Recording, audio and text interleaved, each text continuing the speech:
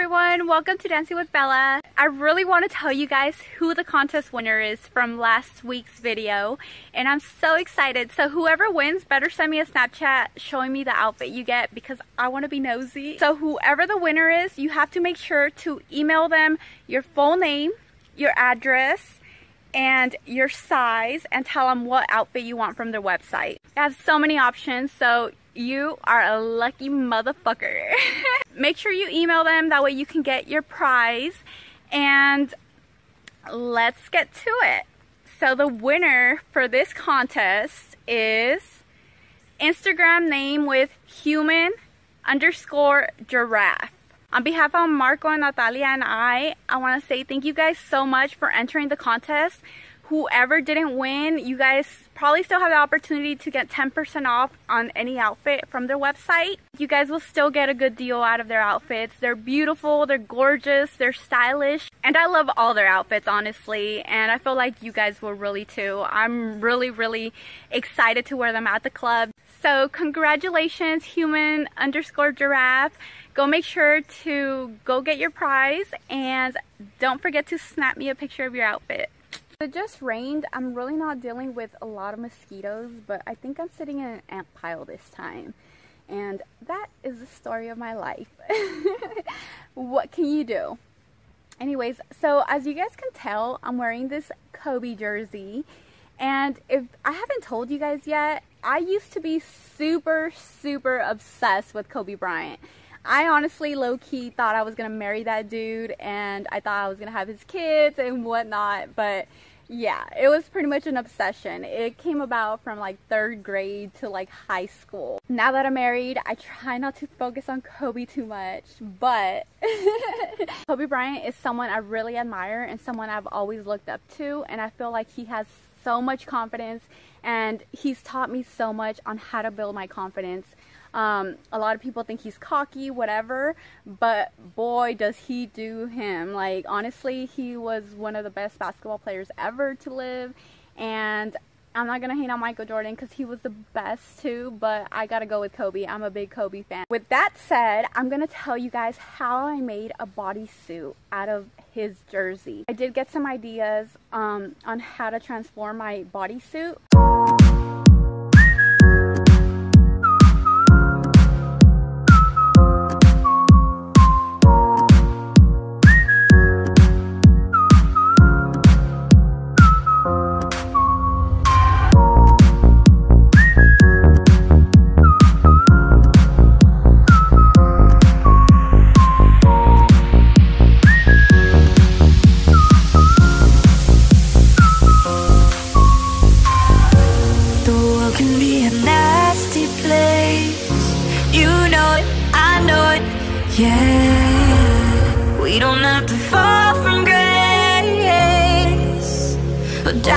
Down the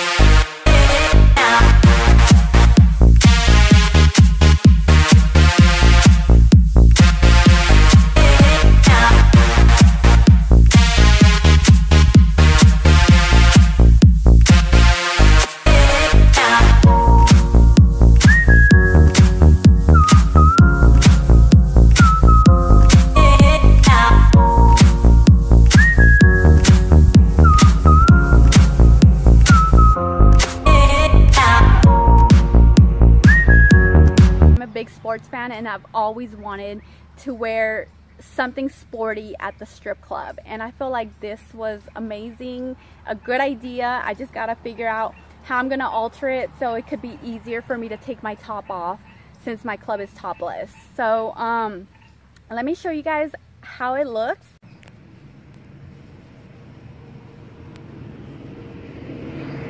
I had hot glued it thinking that it was going to hold up until I was able to get to sewing it, but it didn't work out that way. It was really small and my belly just popped the whole outfit out and it was not cool. So I had to figure something else. What I did is I got the straps from the side, I cut them in half, that way it wouldn't be too long, and then I put them on the side. So I just made holes to hold my outfit together. I mean, it's not hard to make. I just had the wrong measurements and it just didn't come out the way I wanted to, but I'm okay with that. So this is really good for those who don't really want to spend money, who have stuff at home to make, or if you just want to try it out, maybe for the summer, whatever.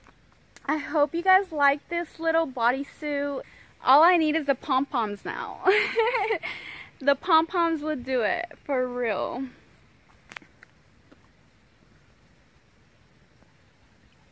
I tried making a video with the girl that you guys seen last week and it just didn't work out. It was too long and I didn't have enough memory to edit it. But I will probably put a couple clips of the video that we recorded. I know I had told you guys on Snapchat that I had shouted out some of you guys out but it was part of that video and like I said I really didn't have enough memory in my phone so I couldn't get you guys in there and I'm super sorry so we were filming a video today and we answered your Snapchat. So if you got a Snapchat from us, you guys might be in a video. And this is her look. I love her look so much. I love hearing from you guys on Snapchat and on Instagram too, even though I don't really get on Instagram. But you guys support and I love that about you guys. I'm going to let you guys see little clips of the video that I recorded with Jordan. And yeah.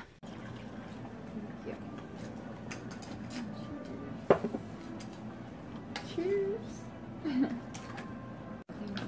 this is what we've got so far. Oh yeah, this totally just made this. Let me see. Yes. It kind of looks like. Is that what you put right here on your wrist? Yeah, well, I actually mixed them. It's these two. I like it. And this is this is I don't know what it is. The lip thing broke off. But this is Dollar General. She dipped my makeup brush in tequila. Don't judge.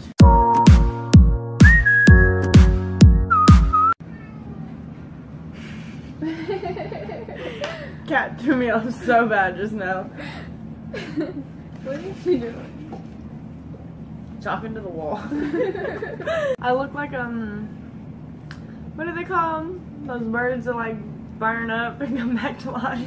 I'm really Dad. liking her eyeshadow and I feel like it's more like of a day look so if you want to go extreme and you're working during the day shift like I feel like her eyeshadow would be great to go with that and even at nighttime like if you're like a really colorful vivid person then I feel like it would do great.